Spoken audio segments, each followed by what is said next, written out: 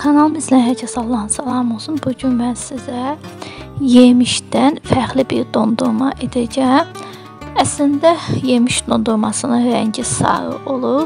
Sadəcə məndə e, qırmızı niyə olub? Çünki içərisinə e, vaflilər atmışdım e, və vaflilərin də e, yəni özlüyü görsənir orada və içərisində də belə sarılar görsənir. Ona görə bu şəkildədir. Və bir də nəzərinizə çatdırım ki, e, tez donmamış biz onu yedik. yəni e, biraz daha çox donsa, daha e, yaxşı edə bilərəm görünüşə sahib olardı.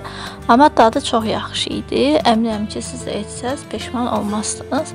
Gəlin isə birlikdə başlayaq. Əvvəlcə bizə etmək üçün krem şanti lazımdır. 1 ədəd. E, daha doğrusu belə deyək də, paçkanın içərisində 2 ədəd olur. 2 ədəddən 1 lazımdır bizə. Krem şanti müxtəlif növdə ola bilər, fərqi yoxdur. İstər sadəsi olsun, istərsə də çiyələhlisi, vişnəlisi, heç bir fərqi yoxdur. Və daha sonra isə bizə vaflilər lazımdır. Əslində mən vafliləri almışdım və e, e, daha doğrusu almamışdım. yəni mənə vermişdilər. Amma e, Onu sizə deyim ki, vaflini açdığım zaman e, əslində başqa cür etmək istəyirdim dondurmanı. Açdığım zaman vaflilər e, əlimdə e, töküldü və ona görə də içərisinə vaflilər qoymaq e, qərara gəldim. Ona görə də bu şəkildə etdim. E, və bizə süd lazımdır. E, daha sonra isə e, yemiş lazımdır bizə və necə edirəm indi onu sizlər üçün paylaşıram. Əslində yemiş öz işinin olduğuna görə şəkər tozu əlavə etməyə ehtiyac yoxdur.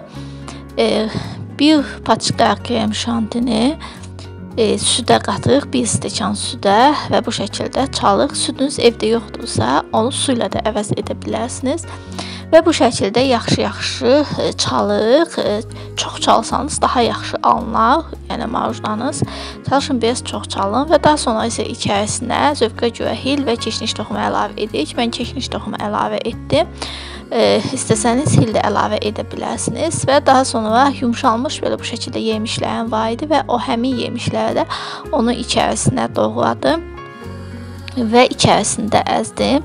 E, siz içərisində yox, siz qıraqda əzsəniz, mənə elə gəlir ki, daha yaxşı olar. E, mən içərisində əzdim, amma içərisində əzdiyim zaman e, e, elə bilirəm krem şanti biraz e, tam bəkliyi yetmişdi. Ona görə də qıraqda əzsəniz, yəni püre halına gətirsəniz və daha sonra isə e, onun içərisinə qatsanız daha yaxşı olar. E, və mən eyni zamanda yemişin su suyu var idi, biraz onu da tökdüm. Siz istəsəniz, e, əgər sizdə biraz qatı alınıbsa, istəsəniz e, yemiş suyu olmasa da hər hansı bir mürəbbənin suyunu da içərisinə əlavə edə bilərsiniz. Yəni şəkər tozu əvəzinə. Amma onsuz da yemiş şirin olur. Heç heç birisini əlavə etmənizə də ehtiyac yoxdur. Yəni ola əlavə etməsəniz belə olar, yəni mümkündür. E, və e, hamısını əlavə etdikdən sonra isə blender vasitəsilə yaxşı-yaxşı əzdim, e, qarışdırdım və daha sonra isə içərisinə o həmin qırıq vafilləri əlavə etdim.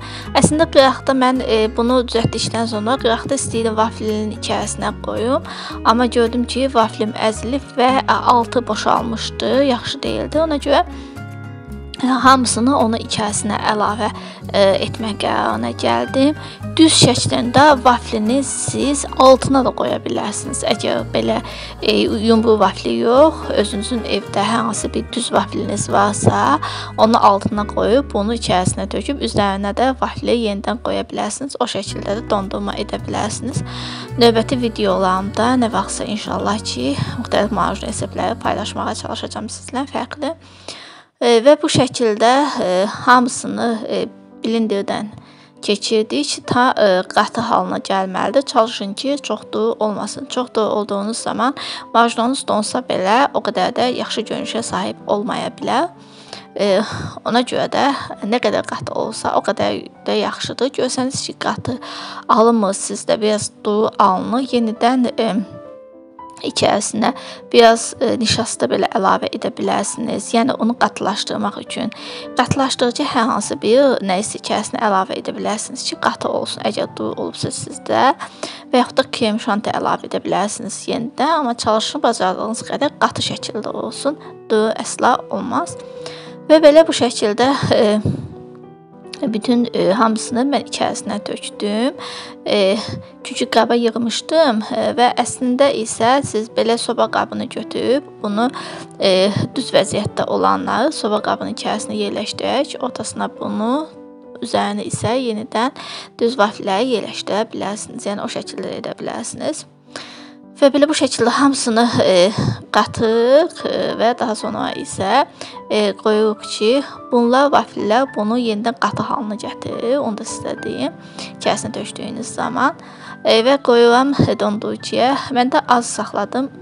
2 saat, 3 saat təxminən saxladım, amma əslində çox saxlasanız daha gözəl dada və gözəl quruşa sahib